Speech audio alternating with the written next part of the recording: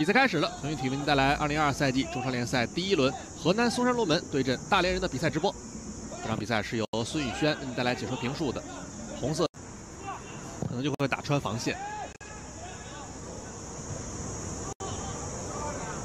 顺的不错，中间又有林良铭在接应，传起来，舒尼奇第一下先顶到，再打，远端又有了，十一分钟，大连人取得领先了，林良铭。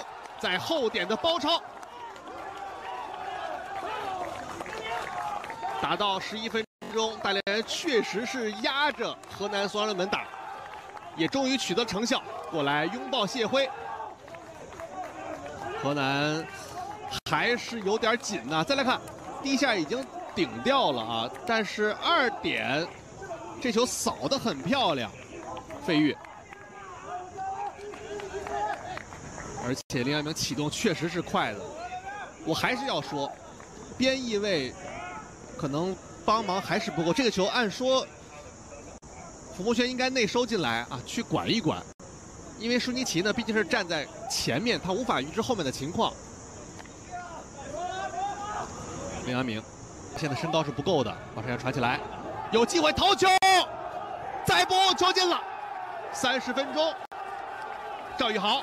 帮助河南双龙门扳回一城。我们刚刚还在讲大连人上赛季啊一直以来有防高空球的问题，这下河南就抓住机会了。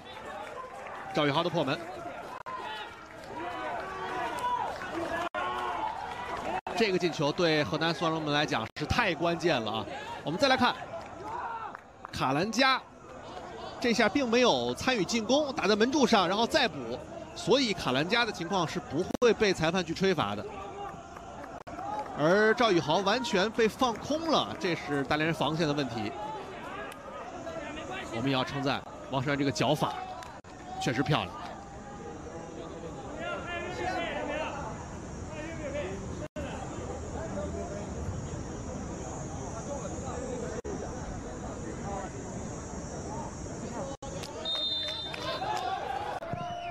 开起来，比较靠近小禁区，角球是二对七。外围吕鹏推一下，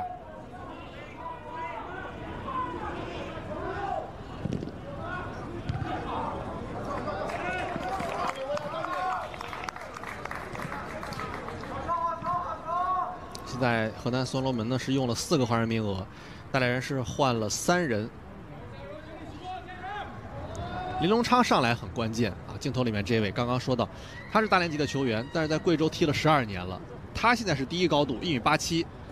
我们今天屡次讲了大连人可能贯穿整个赛季，从上赛季到现在，高控球的问题，所以上一个大中卫啊是很重要的。摆一下，哦，这球打进了！六十九分钟，大连人二比一领先河南嵩山龙门了。林良铭，海口赛场，难道他就是新的林皇吗？今天确实表现非常出色，这个球也让河南的防线啊措手不及，包括王国明都没有任何的反应。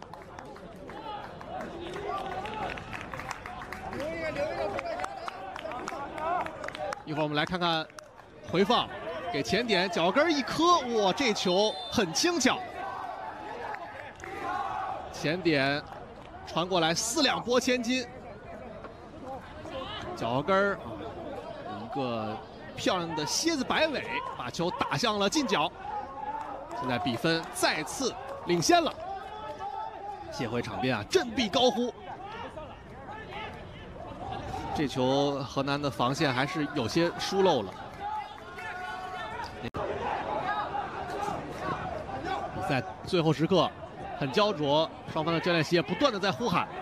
这球传的很漂亮，看黄子昌右边路有空当，怎么处理？到弧顶，再给，打门，球进了，边裁举旗，示意卡兰加越位在先。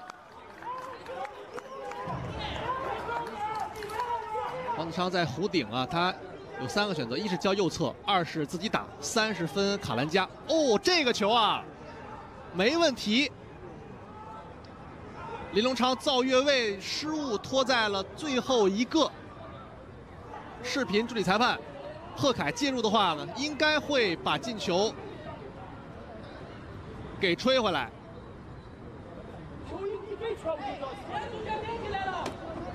看看顾春寒在听视频助理裁判的介入，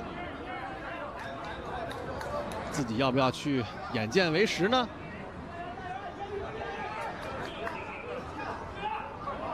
这个角度再来看，上来的时候感觉晚了，脚是在后面的。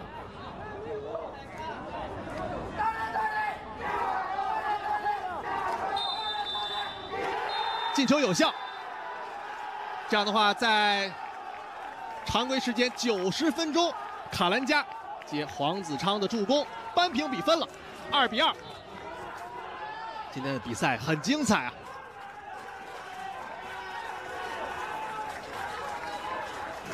再来看，这球确实巧，三个人当中把球分给卡兰加，黄子昌功不可没。手术刀一般的传球，还真是没有越位的。这就是哈尔要求的，在两条线，在锋线和前卫线之间去踢球、去拿、去推进，他也做到了，贡献了自己在新东家的第一个助攻。而卡兰加也延续了自己啊，叫钟一浩了，估计要找远端头球先摆一下，二点零两名，外围直接打，还有舒尼奇。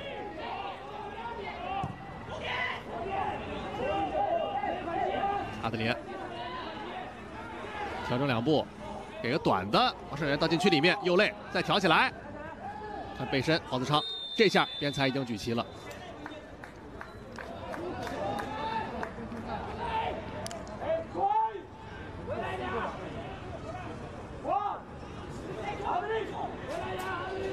五十的时间也基本到了。